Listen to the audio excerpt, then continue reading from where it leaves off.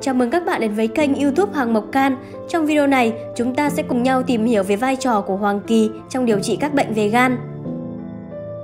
Hoàng Kỳ có tác dụng kiện tỳ bổ khí, tăng hệ miễn dịch. Khi bị viêm gan B là hệ miễn dịch suy giảm, virus dễ dàng bùng phát nên việc tăng cường hệ miễn dịch là yếu tố cốt lõi điều trị bệnh. Hoàng kỳ là thảo dược số 1 về nâng cao hệ miễn dịch và bảo vệ các tế bào gan với hoạt chất chính là astragaloside và polysaccharide. Theo kết quả nghiên cứu dược lý hiện đại của Hoàng kỳ, Hoàng kỳ tăng cường chức năng hệ miễn dịch của cơ thể do làm tăng chức năng thực bào của hệ thống bào lưới. Người sau khi uống nước sắc hoàng kỳ, IgE trong máu tăng rõ rệt. Hoàng kỳ và polysaccharide của nó có khả năng làm cho tế bào tương của lách trên động vật thí nghiệm tăng sinh, thúc đẩy sự hình thành của kháng thể và nâng cao miễn dịch của cơ thể, tăng sức đề kháng của cơ thể. Tác dụng bảo vệ gan, chống giảm sút glucogen ở gan. Trích luận văn báo cáo tại Hội nghị học thuật của Hội Dược học Trung Quốc.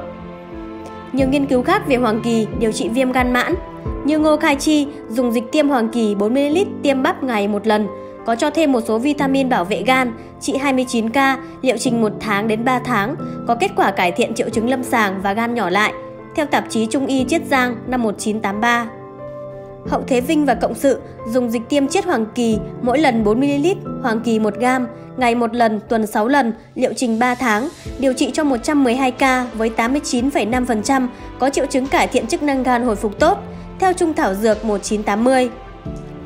Mạch Tiến đã dùng 100% dịch tiêm hoàng kỳ, tiêm vào huyệt túc tam lý hai bên, thận du hai bên, 3 ngày thay nhau tiêm một lần, mỗi lần 1ml, 2 tháng một liệu trình, dùng cho 174 ca bệnh viêm gan B có HBsAg dương tính. Số bệnh nhân chuyển âm tính và cải thiện 131 ca, tỷ lệ 75%, theo tạp chí Trung y Dược Cát Lâm 1985. Theo nghiên cứu mới nhất của các nhà khoa học Mỹ, một số nghiên cứu của Viện AIDS Mỹ vừa cho thấy hoạt chất chiết ra từ rễ cây hoàng kỳ giúp các tế bào miễn dịch duy trì lâu hơn chức năng chống HIV.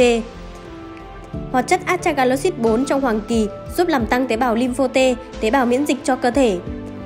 Khi một virus xâm nhập vào cơ thể, thụ quan của tế bào T nhận diện được virus đó, lập tức tế bào này sẽ phân chia để chống lại virus. Để đạt được hiệu quả điều trị viêm gan sơ gan cao nhất, hoàng kỳ phải được thu hái, rửa sạch, thái lát, phơi khô và sao chế theo y học cổ truyền và được chiết xuất dây chuyền hiện đại được cao tinh chất, sấy khô, kết hợp thêm các thành phần thảo dược khác để điều trị bệnh về gan. Hoàng kỳ được sao tùy theo tạng bệnh, để đi vào tạng tỳ ta sao ngọt, trong quá trình sao phải làm đúng quy trình để dược liệu không bị ảnh hưởng và không bị biến đổi dưỡng chất. Cảm ơn các bạn đã theo dõi kênh youtube Hoàng Mộc Can.